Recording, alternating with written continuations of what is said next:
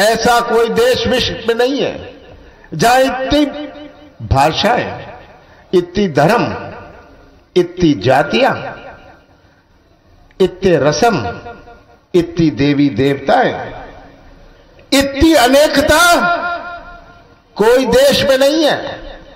जब पूरा विश्व भारत की ओर देखता है, ताज्जुब से देखता है।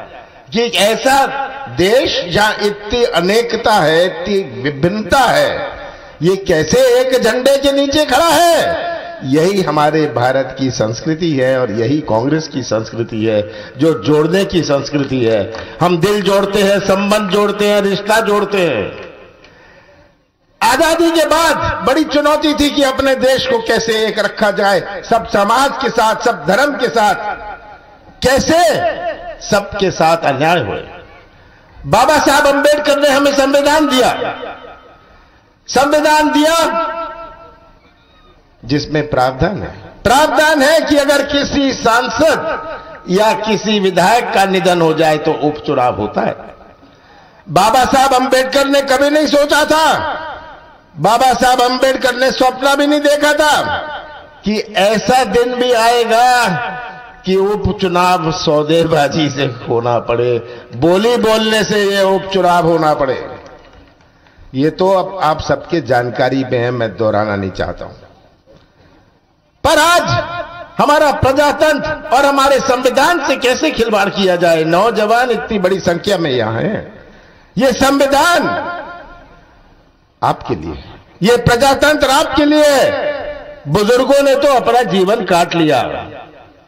पर नौजवानों, ये संविधान और ये प्रजातंत्र आपके लिए। ये प्रजातंत्र को क्या हम धन तंत्र बनाना चाहते हैं? आगे तो जब सरपंच का चुनाव होगा, बोली बोल लेना, सरपंच चुन लेना, सरपंच चुन लिया जाएगा, गाँव में बोली हो जाएगी। ये आज संस्कार हमारे बीच में डाले जा रहे हैं। मैं तो आपको सावधान करना चाहता हूँ। प्रजातंत्र में तो ये चुनाव आया है। ये उपचुनाव केवल नहीं है। ये चुनाव मध्य प्रदेश के भविष्य का है। और कैसा उपचुनाव है? हमारे नौजवानों के भविष्य का है, हमारे किसानों के भविष्य का है, हमारे छोटे छोटे व्यापारियों के भविष्य का है। और ये उपचुनाव जो हमारे ऊपर थोपा गया है, इस उपचुनाव का मायने समझना है। ये उपचुनाव में हमारे उम्मीदवार हेमंत कटारे जी के हार जीत का नहीं है। कांग्रेस के हार जीत का नहीं है। ये हार जीत है हर नौजवानों के भविष्य का, हर किसान के भविष्य के हार जीत का चुनाव है। चुनाव तो प्रजातंत्र का उत्सव होता है। ये कैसा उत्सव? सौदेबाजी का उत्सव हो? ये बिकाऊ उत्सव हो? ये बोली बोलने का उत्सव है? ये कैसा? चुनाव कैसा? ये उपचुनाव है, मैं पूछना चाहता हूँ। और आप सबने तो ये बात पहचान ली, अच्छी तरह पहचान ली। खास करके मैं चंबल में ये कहना चाहता हूँ कि मैं जानता हूँ कि चंबल के खून में, का खून गर्म है, लड़ सकता है पर बिक नहीं सकता। मैं जानता हूँ कि चंबल के पानी में तासीर में बगावत है, पर गद्दारी नहीं है। और जिसने चंबल से गद्दारी की है, उसे चंबल कभी माफ़ नहीं करेगा। 2018 में आपने ही फैसला किया था। आपने फैसला किया था और कांग्रेस की सरकार बिठाई थी। आपने भारतीय जनता पार्टी को घर बिठाया था, शिवराज सिंह को विदा किया था। मध्य प्रदेश की जनता ने यह फैसला किया था। 2018 की नवंबर में,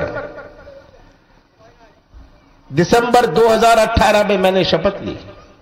पंद्रह महीने में, पंद्रह महीने में ढाई महीने गए।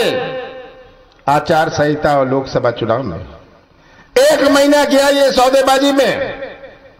मेरे पास साढ़े ग्यारह महीने थे और हमने कांग्रेस की नीति और नियत का परिचय दिया। कैसा प्रदेश हम पर छोड़ गए थे? जब भारतीय जनता पार्टी ने कैसा प्रदेश हमें सौंपा?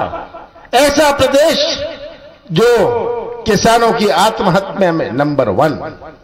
ऐसा प्रदेश हमें सौंपा जहाँ नौजवानों की बेरोजगारी में नंबर वन। ऐसा प्रदेश सौंपा? जहाँ महिलाओं पर अत्याचार पर नंबर वन। ऐसा प्रदेश हमें सौंपा, जहाँ भ्रष्टाचार में नंबर वन। ऐसा प्रदेश हमें सौंप के गए, कौन सी चुनौती नहीं थी मेरे सामने? हमारे कृषि क्षेत्र की चुनौती। मध्य प्रदेश की 70 प्रतिशत अर्थव्यवस्था कृषि क्षेत्र पर आधारित है। आज हमारे किराने की दुकान गाँव में चलती है, जब किसानों की जेब में कुछ पैसा होता है। किसानों का जन्म, किसानों का जन्म कर्जे में होता है, मृत्यु कर्जे में होती है। कृषि क्षेत्र में कैसे नई क्रांति लाए? किसानों के साथ कैसे न्याय हो, उनको सही मूल्य कैसे मिले?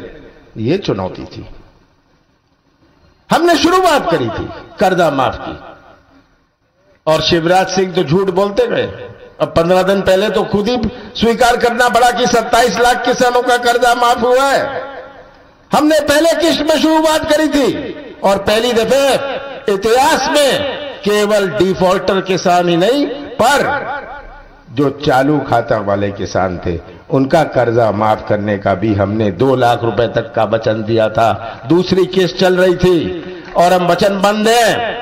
फिर से कांग्रेस की सरकार बनेगी, हम हर किसान का दो लाख रुपए तक का फ़सल ऋण माफ़ करेंगे। हमें कृषि क्षेत्र में नई क्रांति लानी है। और ये नया कानून बनाया सात महीने पहले।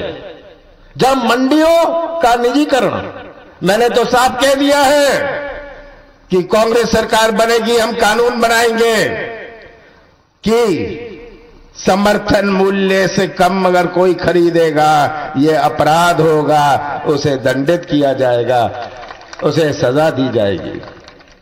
कि आज कृषि क्षेत्र ही हमारा बुनियाद है। अगर किसानों के जेब में पैसा है, तभी तो उसका बच्चा अच्छी पढ़ाई कर सकता है, अच्छी कमीज पहन सकता है। तो आज हम अपने कृषि क्षेत्र में मजबूती लाने का, जो हमने प्रयास शुरू किया था, हम फिर से शुरू करेंगे। सबसे बड़ी चिंता नौजवानों की है। आज का बेरोजगार नौजवान जो भटक रहा है, यही निर्माण करेगा मध्य प्रदेश का। ये हमारे मध्य प्रदेश का निर्माण करेगा और इसका ही अगर भविष्य अंधेरे में होए। आज जो मैं कह रहा था कि बुज़ुर्गों की दुनिया कुछ और थी, इन बच्चों की दुनिया कुछ और है। इन बच्चों की दुनिया कुछ और है। आज तो ये इंटरनेट से जुड़ी हुई पीढ़ी है। आज इन नौजवानों की अपनी सोच है, इनकी तरफ़ है। ये कोई ठेका नहीं चाहते, ये कोई कमीशन नहीं चाहते, ये तो व्यवसाय का मौका और अपने हाथों को काम चाहते हैं। तभी हमारा नौजवान बचेगा। यही सबसे बड़ी चुनौती आज हमारे मध्य प्रदेश में है। और मैं तो यही कहना चाहता हूँ, यही चुनौती हमने स्वीकार करी थी कि मध्य प्रदेश की एक नई पहचान बने, मध्य प्रदेश में निवेश आए। मालनपुर का हाल दिखा है ना? मालनपुर का